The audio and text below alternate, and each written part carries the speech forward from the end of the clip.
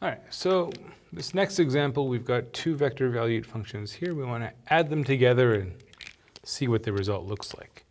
Okay, so um, let me just give us a scale here. So there's one, two,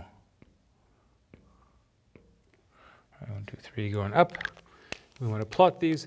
Um, so again, in, in terms of graphing, you know, we can think about plotting points here, or we can also just think about the the relationship here, um, x is 0.2t, y is 0.3t, thinking of the parametric curve, um, then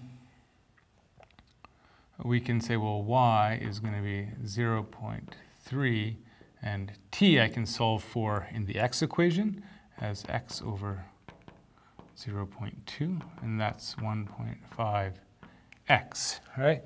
Um, so that is just a, it's a straight line, right, with slope uh, 1.5, right? So we're going to get a line through the origin. Slope 1.5 looks something like that. And this, of course, is just the unit circle. Uh, now, t goes from minus 10 to 10, but, um, you know, all that means is we're going to go more than once around the circle. Right? Um, so those are the, the two sort of vector valued functions that we're combining. Uh, when we add them together, if you think about what happens is you can maybe think about the the circle as I think it could, you know, so think about starting here at t equals zero on the unit circle. And as you go around, well, what's going to happen is as you go around, you're adding these in. So you're not just going to go around the circle, you're going to go around, but you're also being shifted out. Right? And so what's going to happen is you're, you're going to go kind of